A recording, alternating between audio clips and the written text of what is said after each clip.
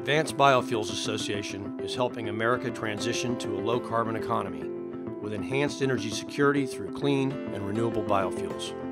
Our member companies are here today and investing for tomorrow, including Velocys, providing sustainable alternatives to petroleum sourced products. Velocys is working to change the way we make fuels here in America. We take either clean natural gas or renewable resources and convert them into diesel and jet fuel. And we have a novel, innovative technology that allows us to be cost effective at a much smaller scale than traditional approaches. We call it microchannel technology, and that's what allows us to be able to make it smaller and to take a decentralized approach to fuels production.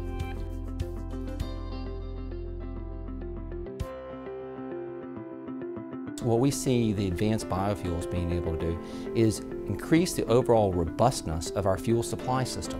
We see many industries that are moving to decentralized production. We think that's possible also with fuel production. So we can use a wider array of resources that are available here in America to produce fuels here in America.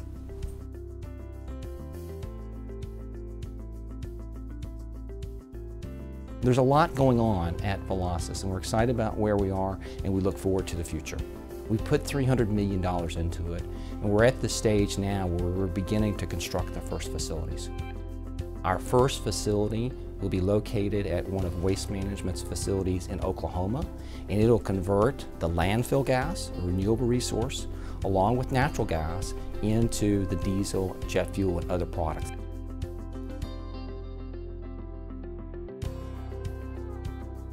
The real need within the policy front is for consistency. These facilities, as with any type of refinery or production facility, has a significant capital investment.